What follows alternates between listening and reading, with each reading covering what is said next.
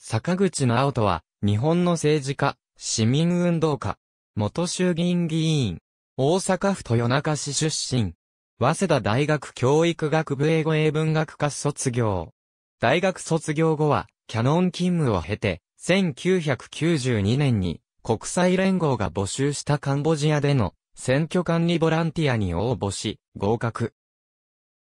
キャノンを退職し、約1年間、ラタナキリ州で選挙支援に従事した。その後は、国連モザンビーク活動、ボスニア・ヘルツェゴビナ統一選挙等で、ボランティア、選挙監視員を務める。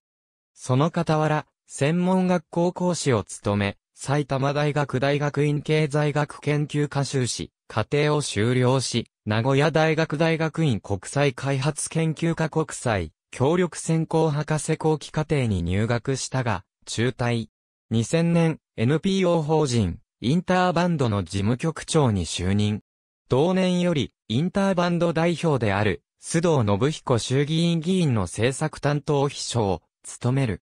2003年の第43回衆議院議員総選挙、2005年の第44回衆議院議員総選挙に民主党公認で神奈川17区から出馬するが、自由民主党の河野洋平に敗れ、落選。2007年の第21回参議院議員通常選挙には和歌山県選挙区から民主党公認で出馬するも、自民党の世耕博重に敗れた。2009年の第45回衆議院議員総選挙では、和歌山2区に国替えして出馬し、自民党前職の石田正俊を破り、初当選した。2012年11月19日、民主党に離党届を提出し、日本維新の会に入党。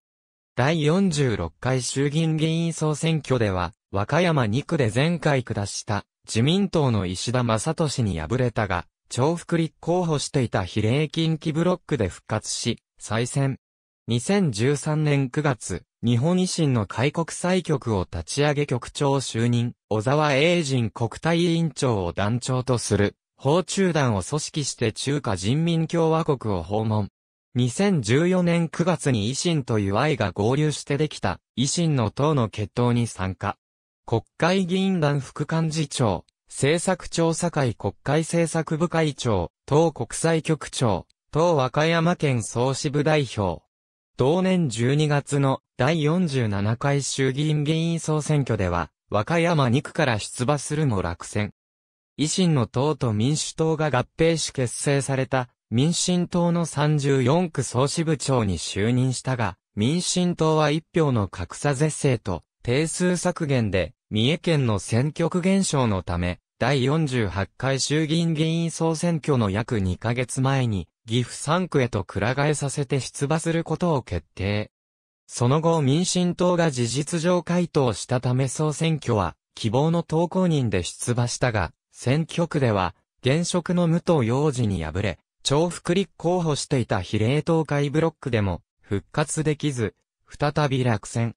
2019年5月18日、立憲民主党岐阜県連は、次期衆院選の岐阜3区に、坂口を擁立する方針を決めた。